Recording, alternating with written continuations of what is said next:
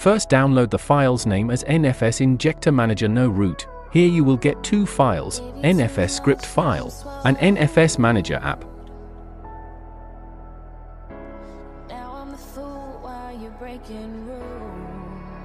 So first install NFS Manager app, but do not open it. Because first, we have to execute the script file. When it's done, simply copy NFS folder, then paste in internal storage. Make sure file has been pasted successfully. Now next step is to execute the script file. You can execute using Brevent or QTAP. Script is suitable for both the app. I will show you using both the app. So first let's execute using QTAP. Simply open the app and type given command.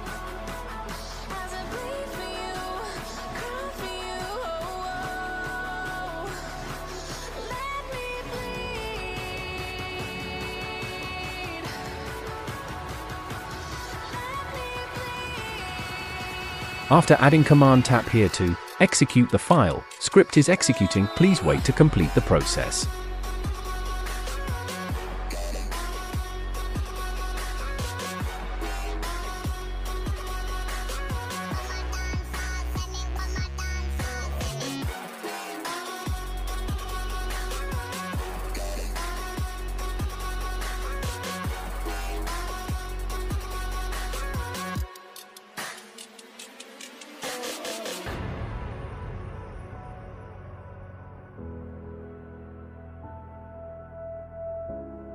So guys as you can see here file has been executed successfully, which means it support QTAP. So now let's execute using Brevent app. Simply open Brevent app and type same command which we had used in QTAP. Then tap here to execute.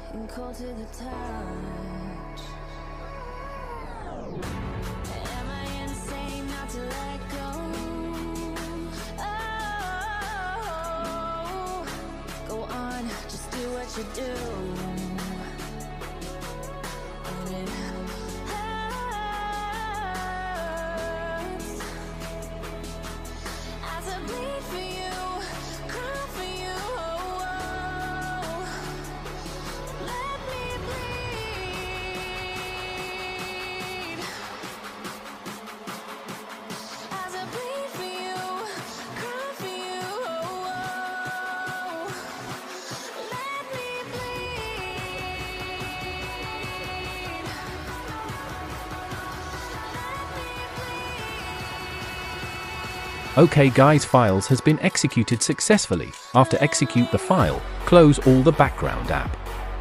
And open NFS Manager app.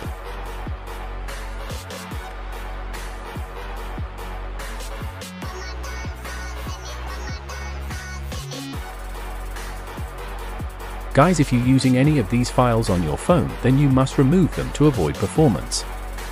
So guys this is the interface of NFS Manager app. Here you can select your gaming mode according to your needs.